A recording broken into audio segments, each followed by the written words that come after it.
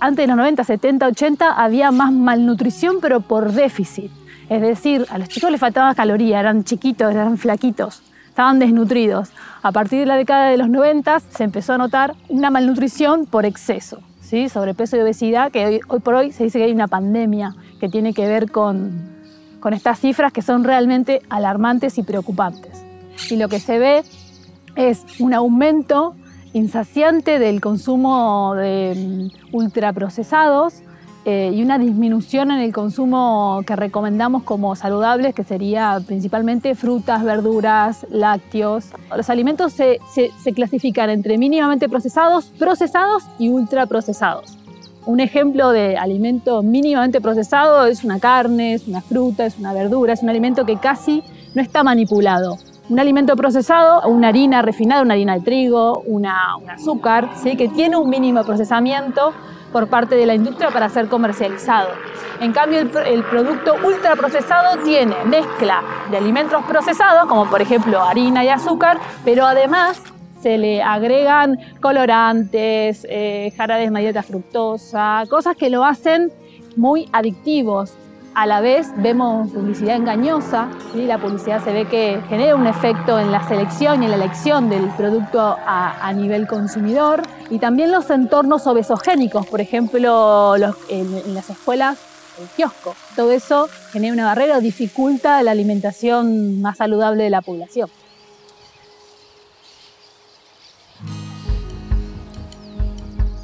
¿Cómo diferenciamos un alimento producido de manera agroecológica de un alimento producido a escala industrial con agroquímicos y agrotóxicos? Los alimentos producidos de manera agroecológica seguramente no van a ser tan lindos, ni tan brillantes, ni tan lustrosos. Una fruta lustrosa no va a ser seguramente una fruta agroecológica.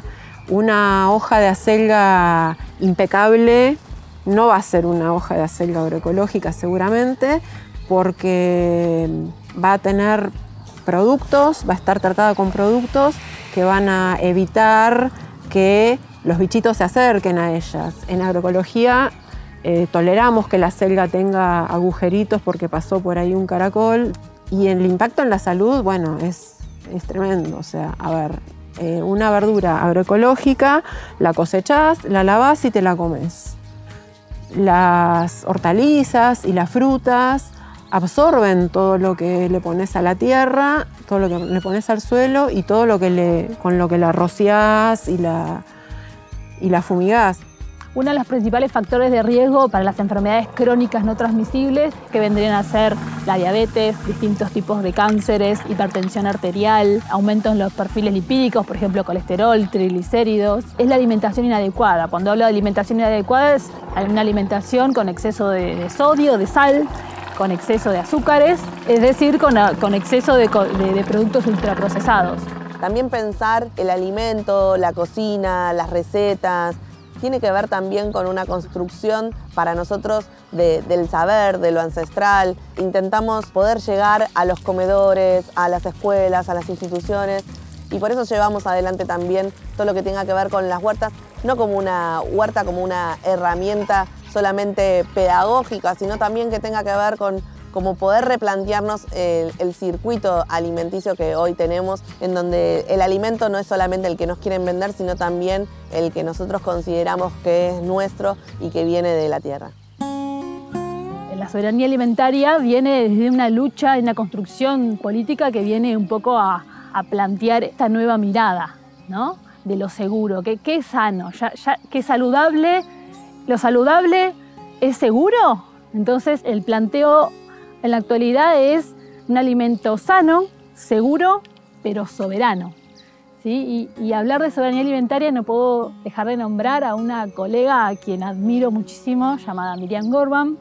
Y ella lo que dice que no se puede haber soberanía alimentaria si no hay soberanía económica ni soberanía política, ¿sí? porque todo tiene que ver con todo. El, comer es un acto muy complejo, ¿sí? no tiene todo, solo que ver con la, la fisiología, tiene que ver con un acto cultural, con un acto social y con un acto político también. Las decisiones políticas fluyen en, eh, la elección del, consumidor también y este sistema capitalista de consumo obviamente que también influye. No es solamente una decisión individual, el elijo un ultraprocesado o elijo una manzana agroecológica para comer. No es algo tan individual como quizás parece.